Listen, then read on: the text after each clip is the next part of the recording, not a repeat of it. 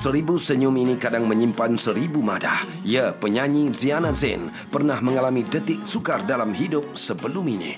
Adakah dia benar-benar sudah move on? Embas bersama idola orang ramai. Apakah sikap Ziana Zain yang terpuji itu?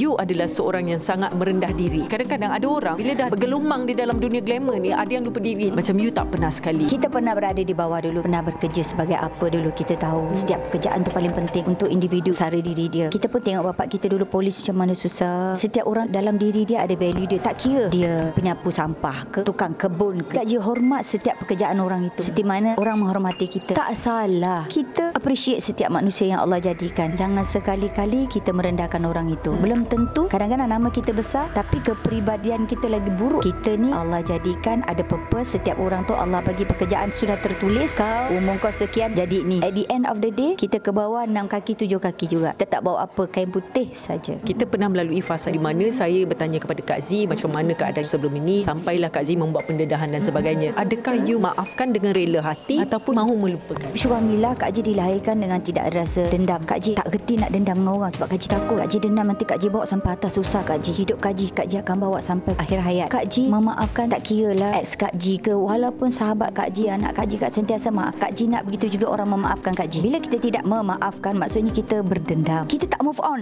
tapi memory always be there. That one kita tak boleh lupa. Susah senang kita. Kak Ji memaafkan. Tak salah kita maafkan orang. Bila kita maafkan orang, kita tak ada dendam. Allah akan buka lagi jalan kita. Kita ke depan pun dengan senangnya.